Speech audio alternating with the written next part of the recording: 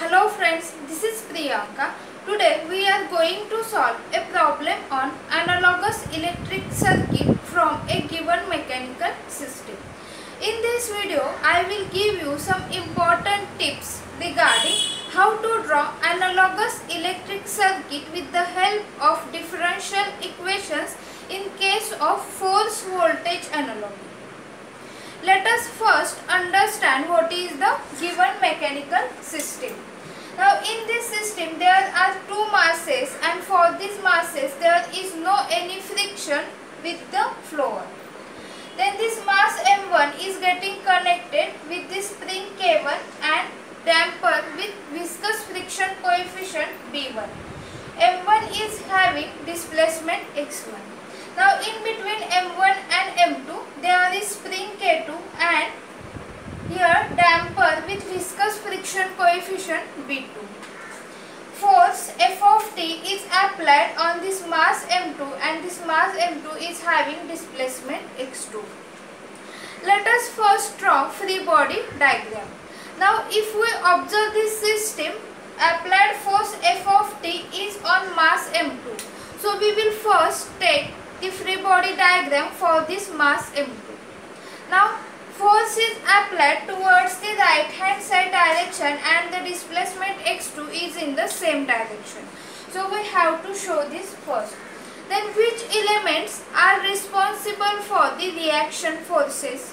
Now if we observe this mass m2 then there is the inertia due to this mass m2 then the spring with stiffness K2 is also responsible for the reaction force and damper with viscous friction coefficient B2 because these elements are connected to mass M2.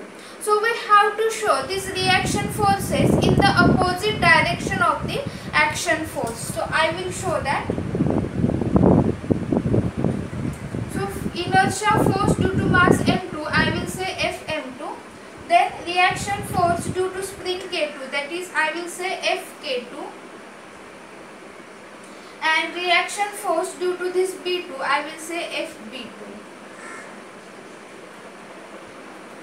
Now according to Newton's second law of motion applied force is equal to sum of reaction forces. So I have to take this applied force that is F of t is equal to sum of reaction forces that is Fm2 plus Fb2 plus Fk2. Now, if we observe input is the applied force F of t, but output is in terms of displacement x1 and x2. So, we have to define all these forces in terms of displacement. So, how to define? So, I will write therefore F of t is equal to. Now, how we can say that uh, inertia force due to mass m2 in terms of displacement. So, m d square x by dt square.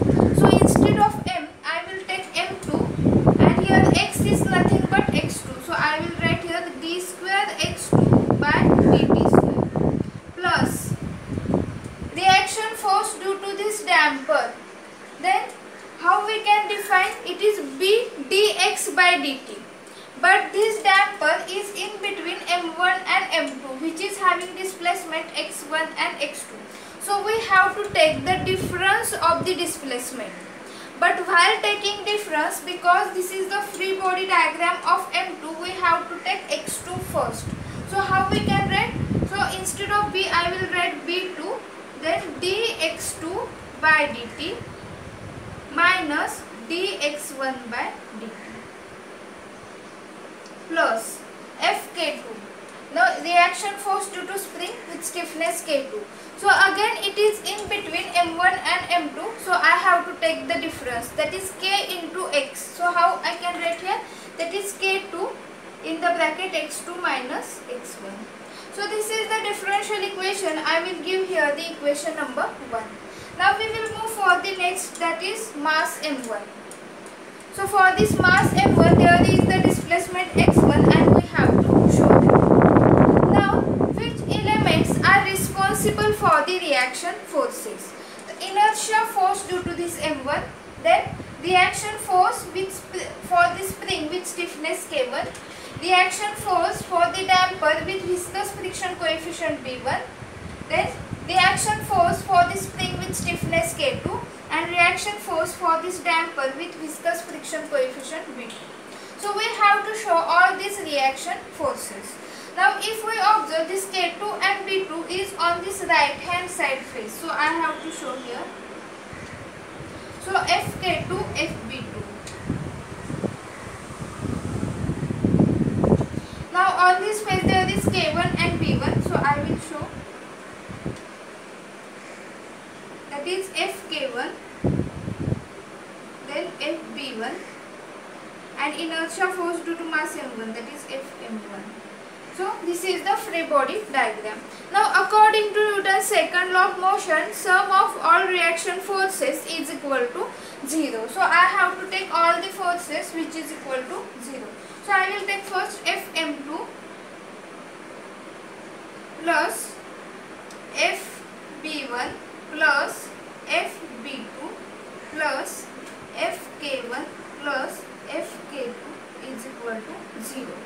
Now we have to define all these forces in terms of displacement. So how to define the inertia force? So it is for the mass m1. Sorry here is m1. So how to define that? That is m1 d square x1 by dt square plus because here displacement is x1 fb1 now b1 is connected only m1 so i will write here b1 dx1 by dt plus now b2 so b2 is in between m1 and m2 so we have to take the difference. So while taking difference we have to take x1 first because this is the free body diagram of m1 so i will write b2 dx1 by dt minus dx2 by dt plus s k1. so k1 is connected to only m1 so i will write k1 x1 plus K2. Now K2 is in between M1 and M2. So I have to take the difference of this displacement. So I will take here the X2 first because this is the free X1 first because this is the free body diagram of M1. So I will write here K2 in the bracket X1 minus X2 which is equal to 0. So this is the differential equation. So I will write here the equation number 2. Now we will understand how to apply force voltage analogy. So for that we will consider RLC series circuit where voltage is the input. Now if we observe here is the voltage that is V of t is input and resistor, inductor and capacitor all are connected in series. So we know that when all the elements are connected in series then the current flowing through it, through that is same that is equal to I of t. So this voltage V and this current I both are variable function with respect to time t. How we can define this uh, current I that is the rate of change of charge that is charge is nothing but q. So we can define here I of t is equal to dq by dt. Now we will write one equation in terms of q. So here input is voltage V and we will write this R, L, C all these elements in terms of Q. So how we can write here that is V of t is equal to L d square q by dt square plus R dq by dt plus q by C. So this is the differential equation. Now in mechanical system where spring mass and damper system how we can write the equation where the applied force is F of t. So we know that equation that is f of t is equal to m d square x by dt square plus b dx by dt plus kx. Now we will compare these two equations. Now question is that we have to apply force voltage analogy where applied in mechanical system input is f of t that is force and in electrical system voltage is the input. So we can say that here f of t is analogous with v of t. Then again we will compare all the remaining elements. So m is analogous with L. Then B is analogous with R. k is analogous with 1 by c. Now what about the displacement x? So if we compare x is analogous with charge q. But while we are going to apply force voltage analogy, we have to write all the term in, in, in the form of current I.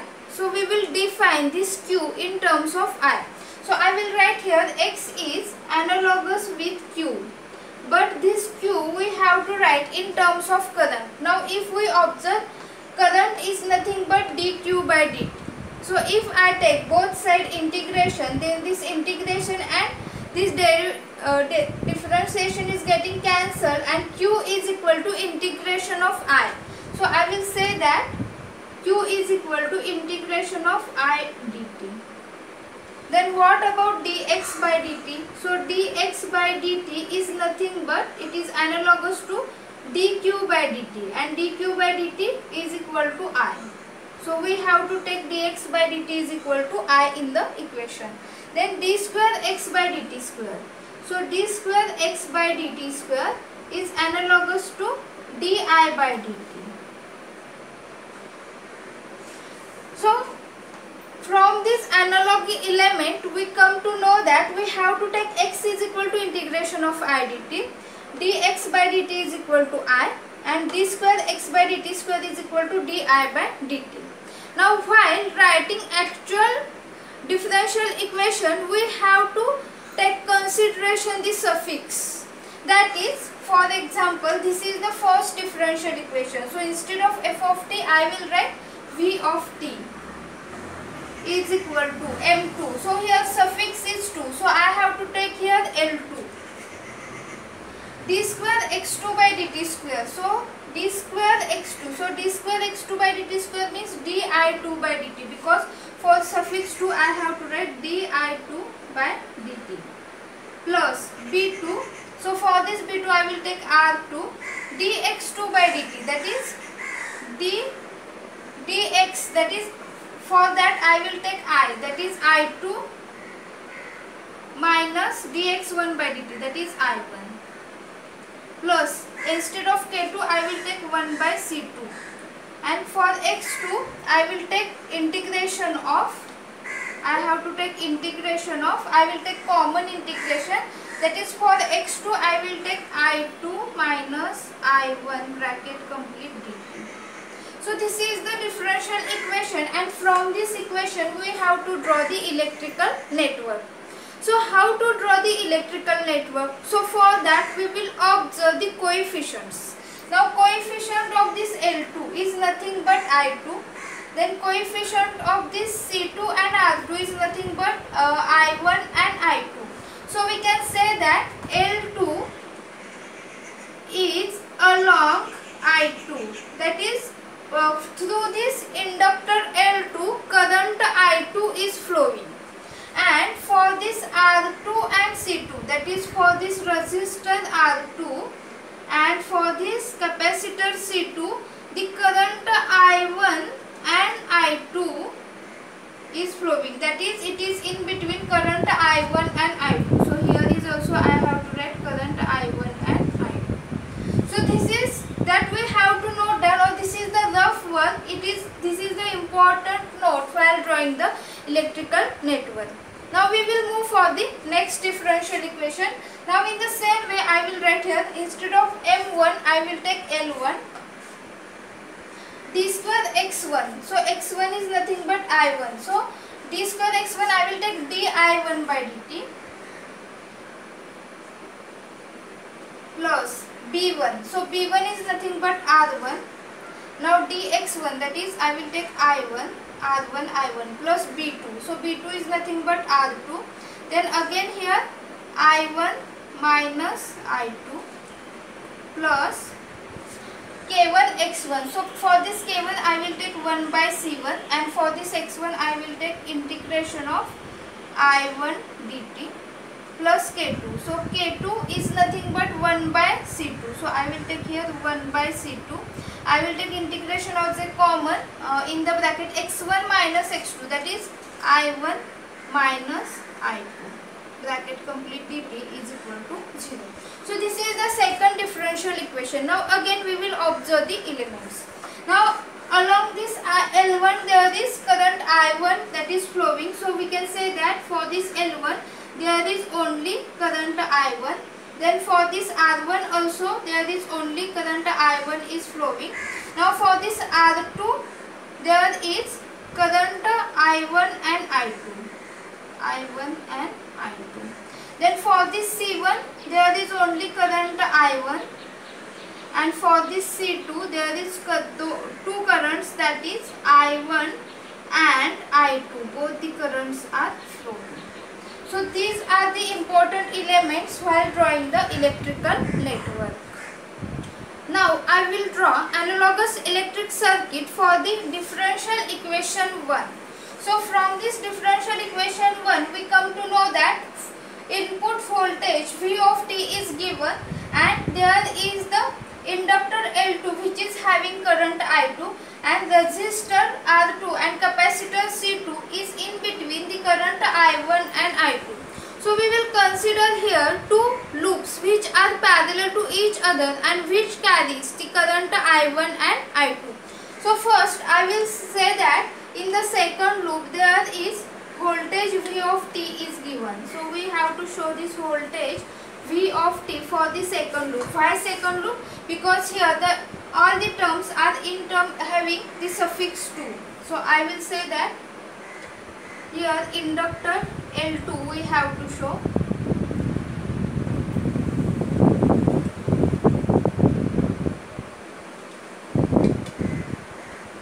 now these are the two loops that we have to take first which is having current I1 and I2. So for this L2 I will show that here in this loop there is current I2 is flowing and in this loop there is current I1 is flowing. Now according to differential equation we can say that for this L2 current I2 is flowing and then for this R2 and C2 it is in between both currents I1 and I2. So we have to show these two elements that is R2 and C2 in series because both are having same current. So I will show here that is R2 and C2. So here is R2 and here is C2. Then we will move for the next. So for the next differential equation, if we observe there is the L1. That is inductor L1 is having current I1 only. Then resistor R1 is having I1 only. And capacitor C1 is having current of I1 only. So these three elements are having same current I1 is flowing. So we have to show that these elements in series. So I will show instead of separate electrical connection I will show here because in this loop current I1 is flowing so I will extend this loop